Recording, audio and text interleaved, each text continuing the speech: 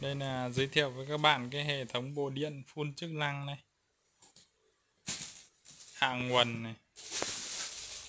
Tay đảo chiều, chân ga, chân phanh, công tắc phanh chân, hệ thống công tắc, đèn xi nhan, đèn pha. Có cả đèn xi nhan, đèn hậu thì có đèn lùi. Xi nhan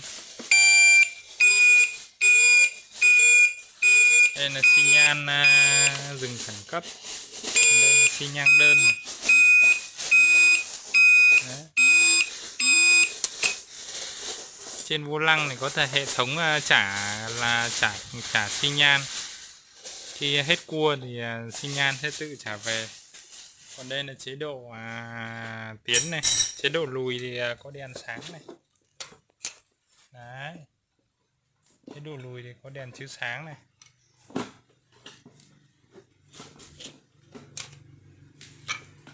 Con này 1000W này. Bộ công tắc này. Đồng hồ thì à, báo à, các loại luôn. Đồng hồ thì à, báo công tơ mét. Đây là lùi thì nó chậm này.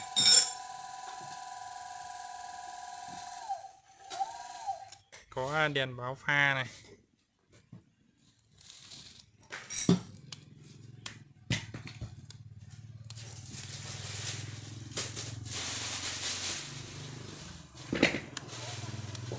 Báo xi nhan này.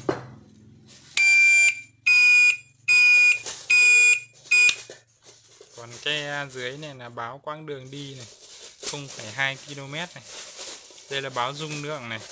Cái đồng hồ này thì có thể dùng cho 48 60V được.